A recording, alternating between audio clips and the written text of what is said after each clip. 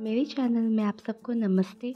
हमारी आज की जो रेसिपी है, वो है प्रॉन मलाई करी, जो कि चिंगड़ी मलाई करी भी हम बोलते हैं। इसके लिए हम सबसे पहले कढ़ाई में सरसों का तेल ऐड करेंगे। हमने प्रॉन को अच्छे से वॉश करके उसमें नमक और हल्दी मिला करके रख दिया था। हम प्रॉन को एक से दो मिनट के लिए हल्का सा फ्राई करेंगे। फ्राई करने से जो प्रॉन का रॉ फ्लेवर है, वो चला जाएगा। तो चलिए, पहले हम हल्का सा प्रॉन को फ्राई कर लेते हैं प्रॉन को ज़्यादा नहीं पकाइए। ज़्यादा पकाने से प्रॉन हार्ड हो जाएगा। एक से दो मिनट पका के ही आप निकाल लीजिए, ताकि प्रॉन अंदर से बिल्कुल सॉफ्ट रहे।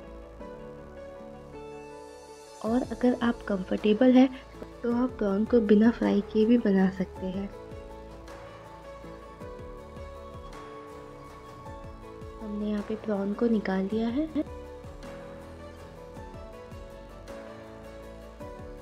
अब सेम कढ़ाई में ही हम ग्रेवी के लिए सरसों का तेल ऐड करेंगे।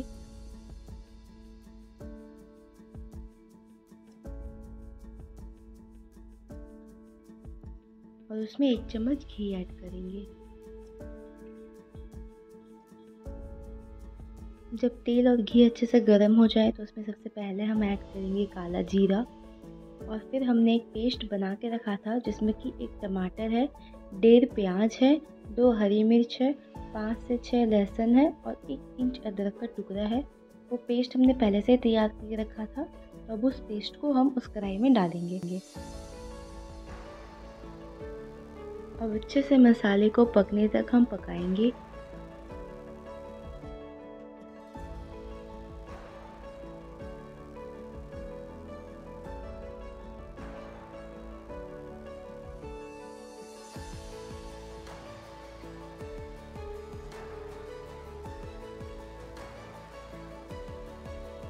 अब एक एक करके ऐड करेंगे। सबसे पहले चीनी, फिर नमक, दोनों ही आप अपने टेस्ट के अकॉर्डिंग ही ऐड करें। फिर इसमें ऐड करेंगे हल्दी।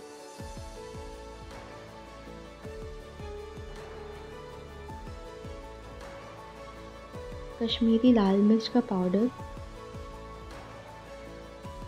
एक टेबल स्पून जीरा पाउडर और एक टीस्पून धनिया पाउडर कश्मीरी आप ज़रूर ऐड करें, इससे कि ग्रेवी में ना एक बहुत अच्छा कलर आता है।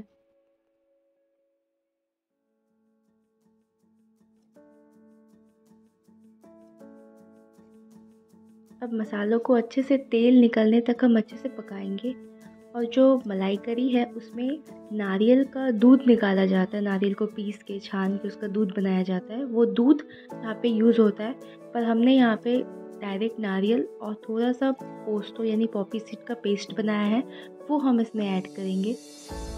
जो मलाई करी है, उसे हम इसीलिए मलाई करी बोलते हैं क्योंकि उसमें जो नारियल का दूध है, वो जाता है।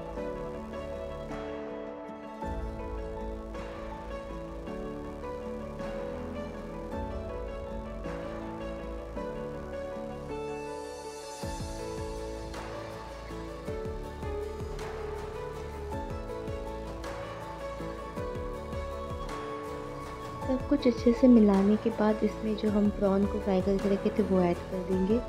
और ग्रेवी में प्रॉन को हम एक से दो मिनट पकाएँगे।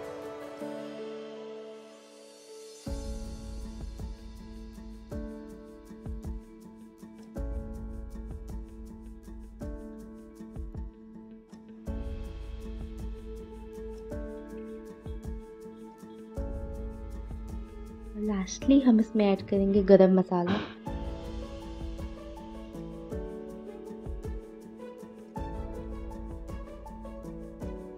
और फिर से सबको अच्छे से मिलाएँगे। चिंगड़ी मलाई करी बन के तैयार है। आप इसे ज़रूर ट्राई कीजिए, ये बहुत अच्छा लगता है खाने में। नॉर्मल राइस के साथ आप इसे खाएँ। कोई अलग राइस कोई फ्राइड राइस कोई ये राइस नहीं चाहिए इसके लिए। प्लेन राइस के साथ आप इसे खाएँ तो बहुत अच्छा लगेगा खाने में। अगर आपको ये वीडियो पसंद आया हो तो आप इसे लाइक और सब्सक्राइब ज़रूर कीजिएगा। Thanks for watching